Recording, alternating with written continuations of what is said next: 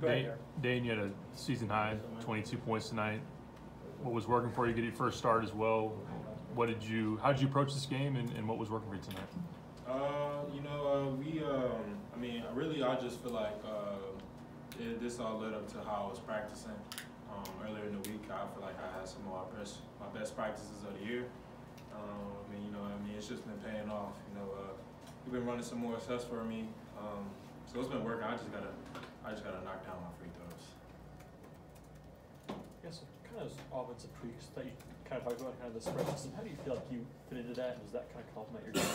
Uh, yeah, you know, uh, I feel like this uh, this new kind of offense we're, we're running is very um, very effective, especially with me. Um, you know, I'm able to pass. Um, I can post up, so we've just been looking uh, to get the ball in the paint more. So, um, you know, with me being able to score down there, the traps coming a lot, that opens up the floor for us. So.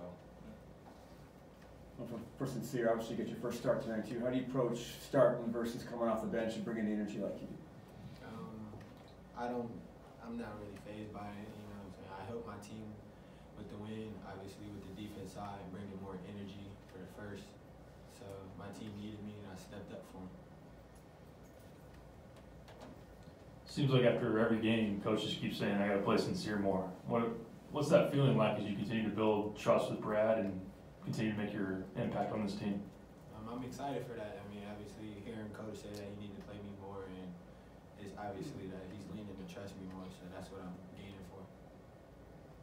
What's been key to settling in this quickly and to be able to progress from the start of the season till now to where you have a, a role and, and you're solidified? You say that again?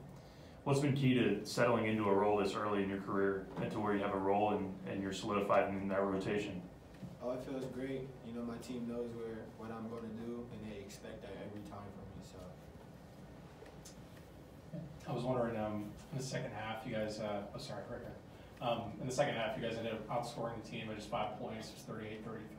Um, obviously a lot different than the first half. What, what do you think kind of changed in the change of the frames, and um, what kind of things are you trying to work on going out of this game? our our um, our second our second half is you know is a little rusty, obviously. So um, we're coming back stronger. Obviously, we're gonna go back in the uh, back in the gym, fix that, because we got to come out the same way as we came out the first half.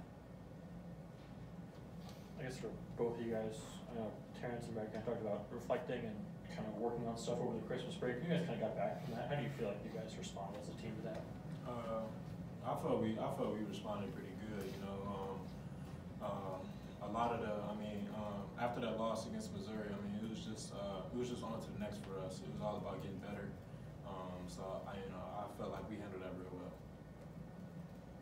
the Sencire going from you know five out offense to spread and changing from like the switching defense to to more of like a pack line fighting through the screen type thing, downing ball coverages. How does that, how, how does that change for you in three days? Like, you guys basically went one game and then you have three days practice and it's just totally different? Um, we had actually two, we practiced two days. I mean, like, we practiced uh, in the morning and then we go in the afternoon. So we were really dialed in as a team and we knew we had to get the job done to um, execute what we was doing. Anything else for the players? Okay, all right, thank you. Thanks, Thank you.